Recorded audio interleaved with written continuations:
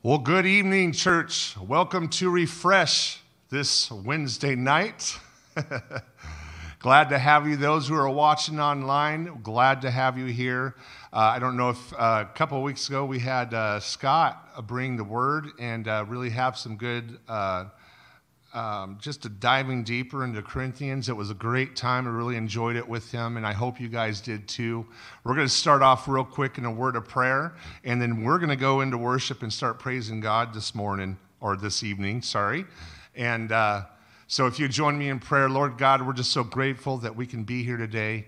Lord Father, for this midweek, Lord Father, we know that um, you work every day, Lord God uh, behind the scenes. And we just pray, Lord Father, as we lean into you um, this Wednesday, Lord, that you would uh, give us strength, God, uh, just to learn and to understand and uh, to praise you, Lord Father, uh, the way that only you deserve to be praised. And so we just pray that everything that we do tonight would be according to your word and your will. And it's all in your son's name that we pray. In Jesus' name, amen. So if you join me.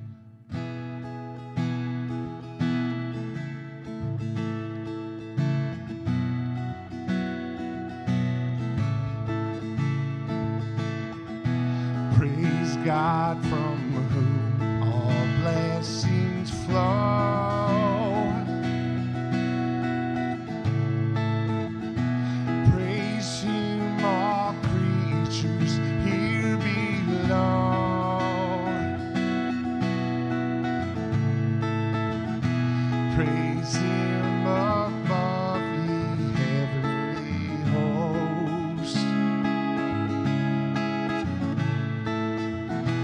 Praise Father, Son, and Holy Ghost.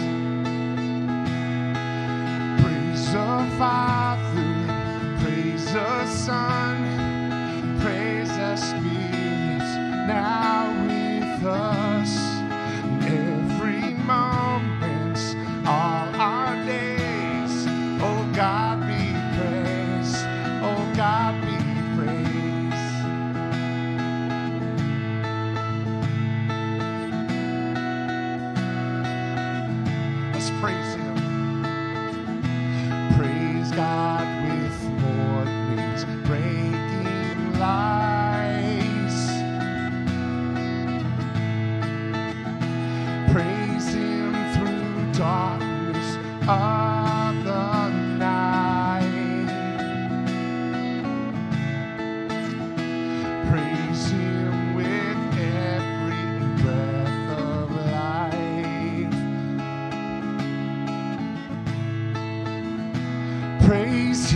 my soul, with all your might.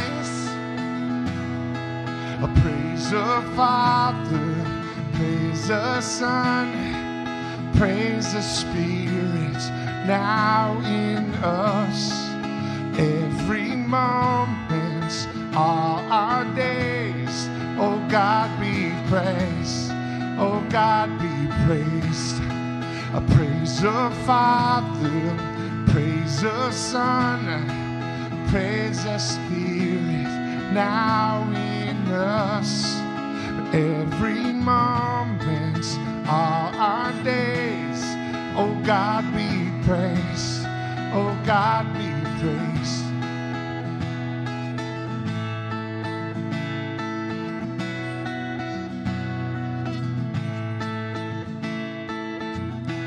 Praise God in face to face we see.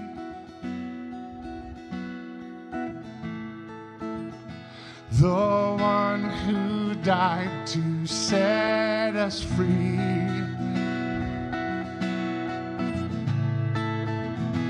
The one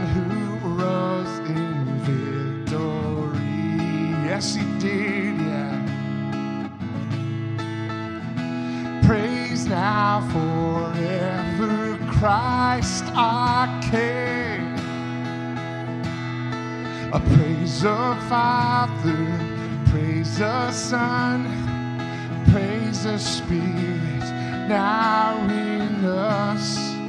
Every moment, all our days, oh God be praised.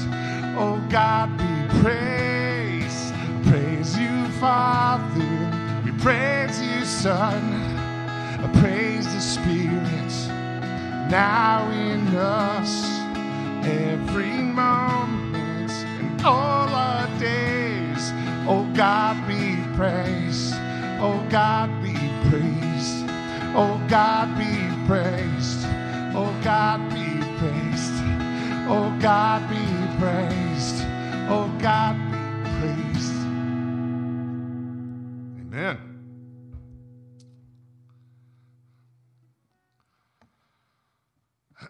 I love this next song. It's called Reckless Love. It's amazing how God, well, we, me and my buddy were just talking about yesterday, how God pursues us, how he's relentless in his pursuit. And this, it shows it in the bridge of this song where it says, There's no shadow you won't light up, no mountain you won't climb up coming after me. That's me and you guys.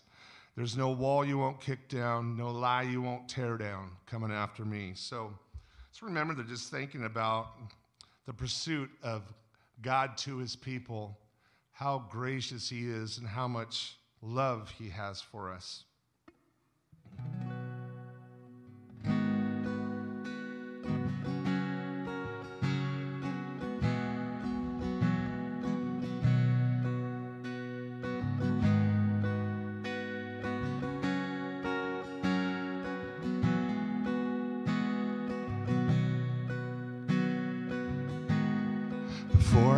I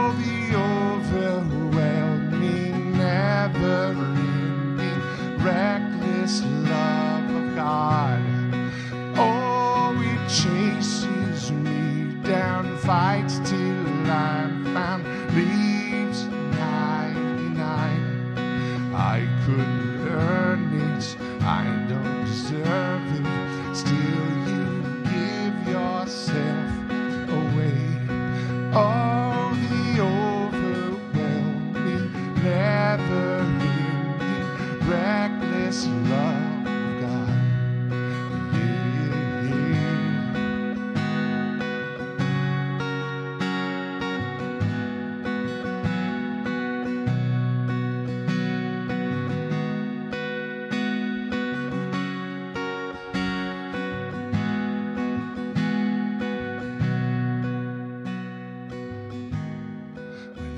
was your foe,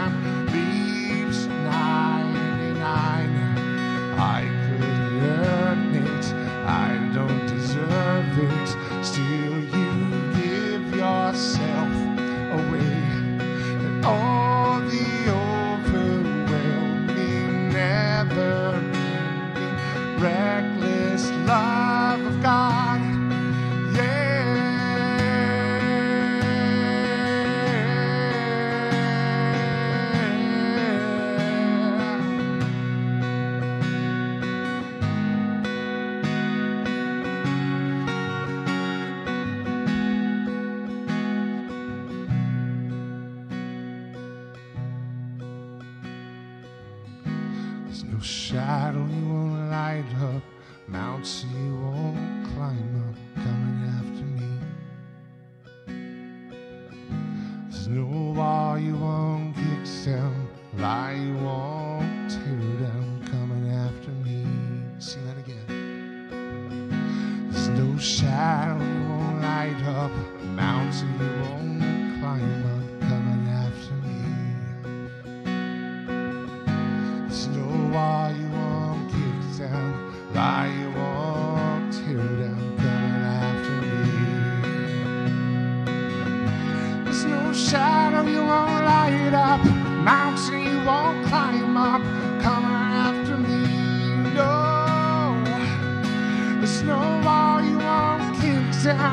Zion.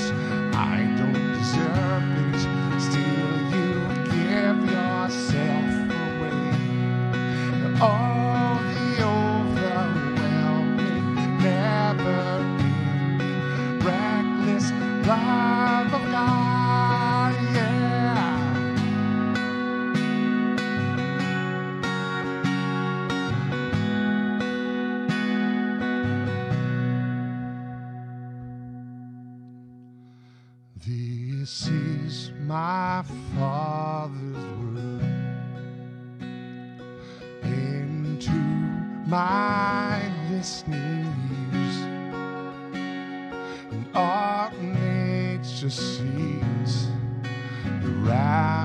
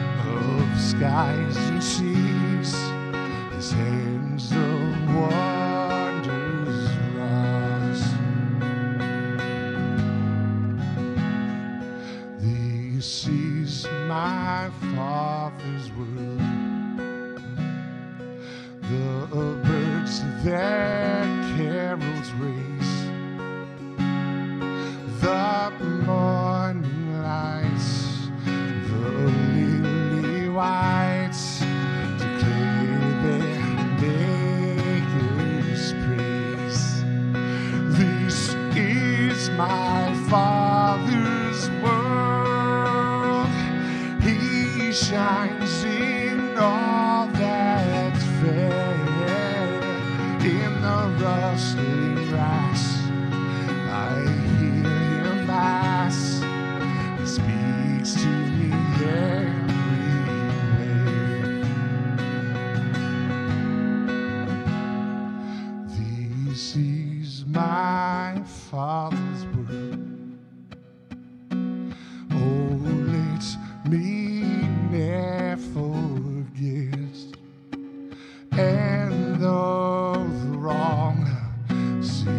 hands are so strong. God is a ruler, yes. Handle the wrong. Hands are so strong. God is a ruler, Yeah. This is my Father's world. Why should my heart? and know the Lord is King. Let the hail ring, God rings, let the earth be glad. This is my Father's world. Why should my heart be sad? The Lord is King. Let the heavens ring, God reigns, let the earth be glad.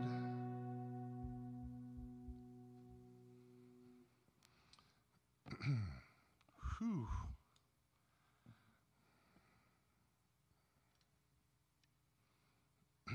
this next song here is The Goodness of God, and I believe this is the last song for tonight.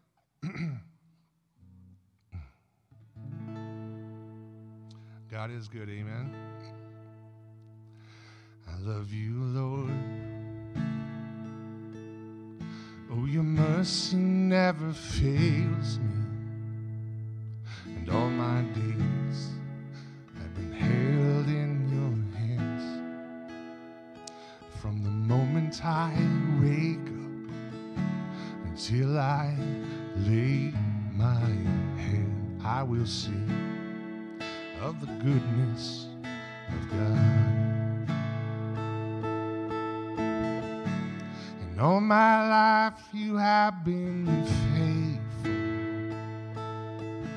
And all my life you have been so, so good, yeah. With every breath that I I will sing of the goodness of God. I love your voice. You have led me through the fire in darkest nights.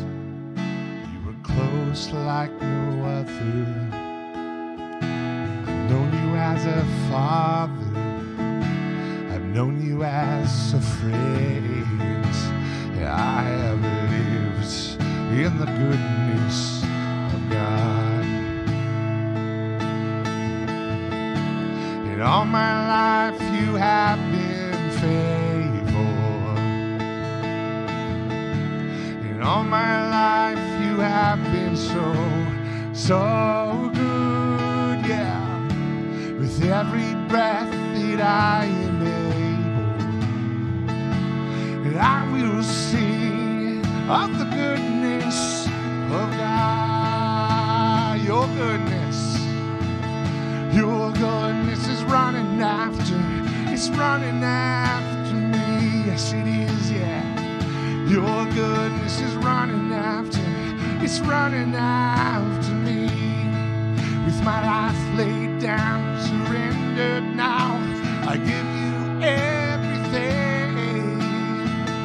Your goodness is running after, it's running after me. See that? Your goodness is running after, it's running after me.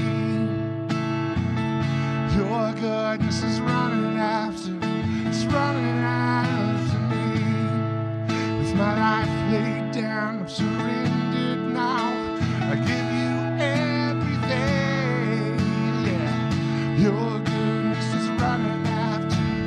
running after me. All my life you have been faithful. All my life you have been so, so good. With every breath that I I will sing of the goodness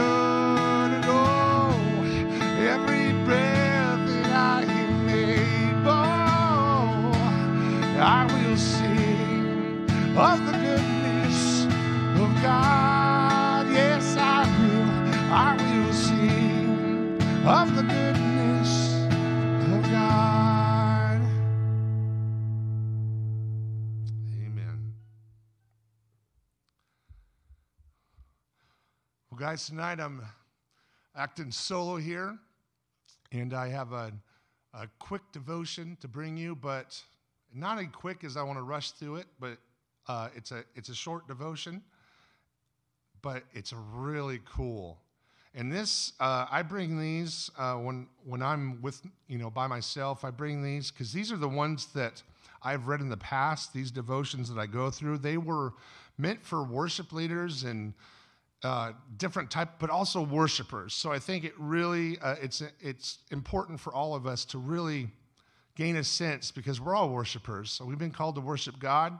Um, we are there. You guys come uh, on Sundays, and man, it's just awesome. Just the almost just like one voice, just going up to heaven, just just lifting God up, listening, lifting His Son up, and and it's this is um, kind of just an idea or uh, just a thought, just to maybe take you a little bit deeper into into worship, and because you know anybody can sing songs or words on a page, but that's not worship. The worship is the connection that we have between our Savior, our Creator, and even the Holy Spirit that's within us that God has put in, inside of us. So if you would uh, just think about this and remember this this is for you as well as me too.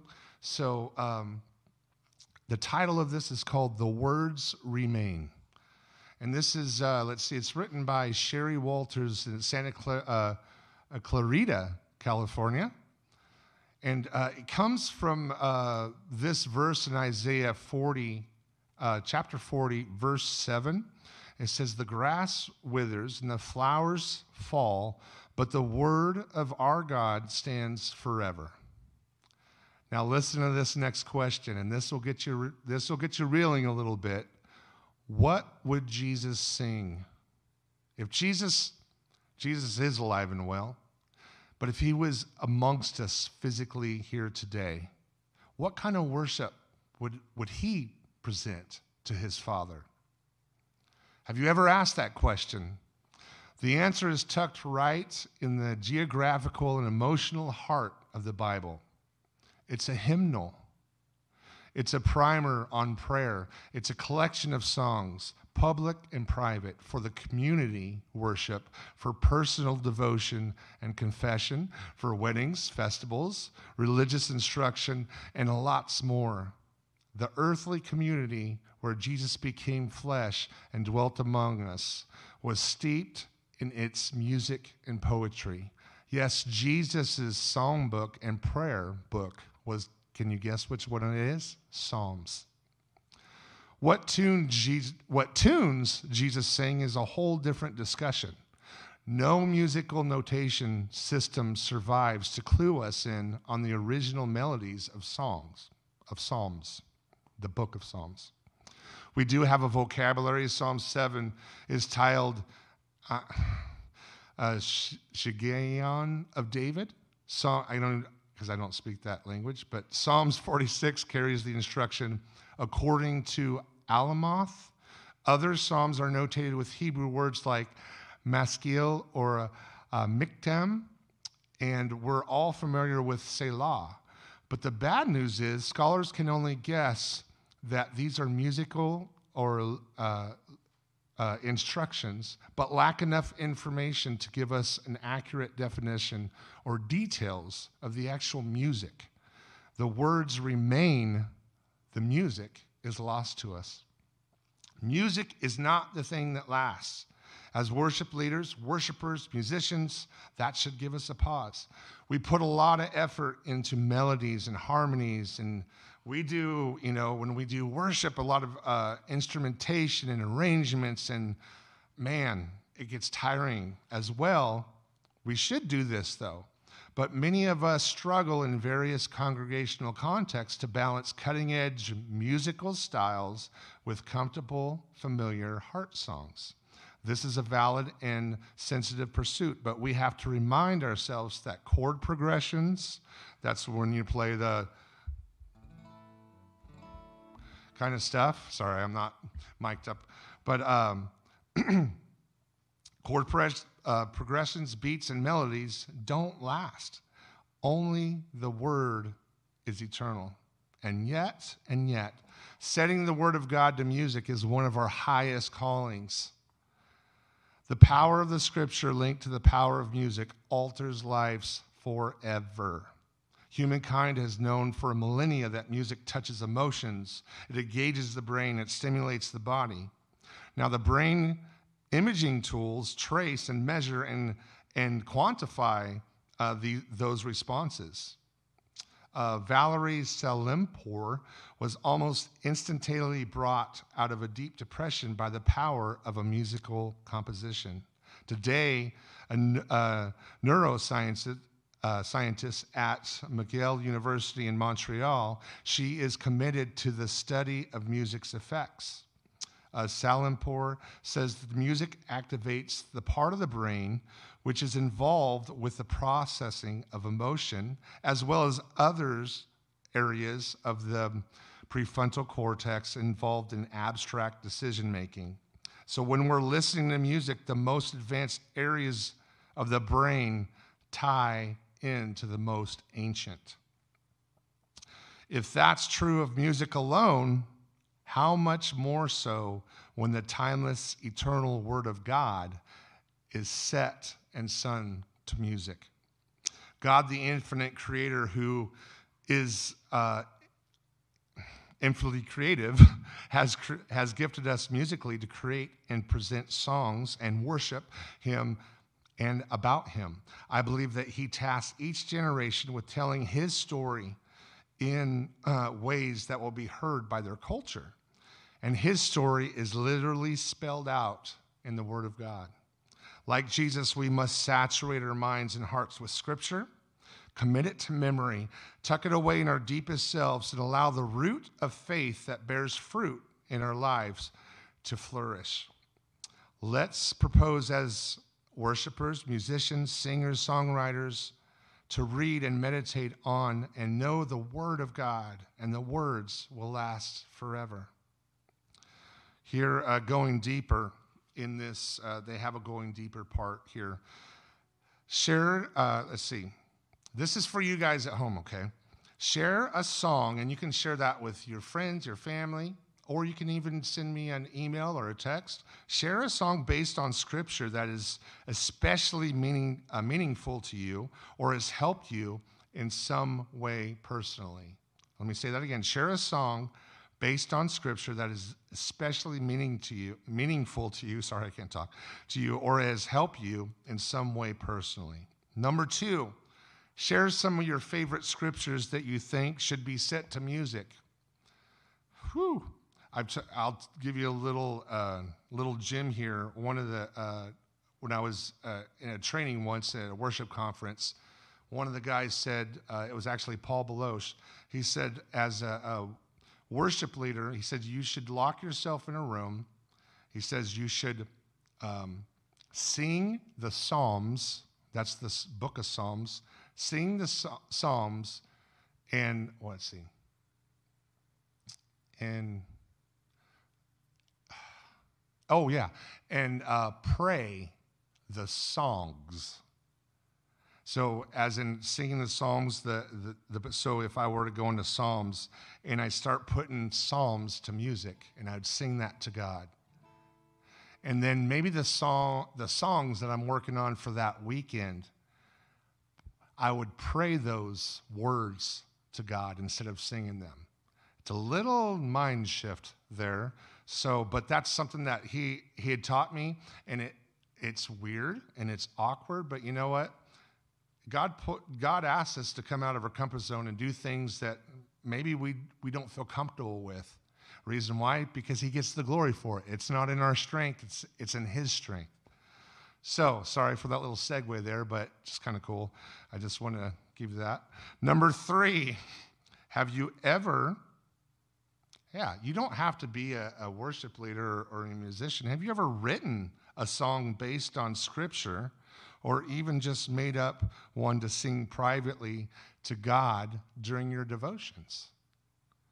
If so, what motivated you to do that?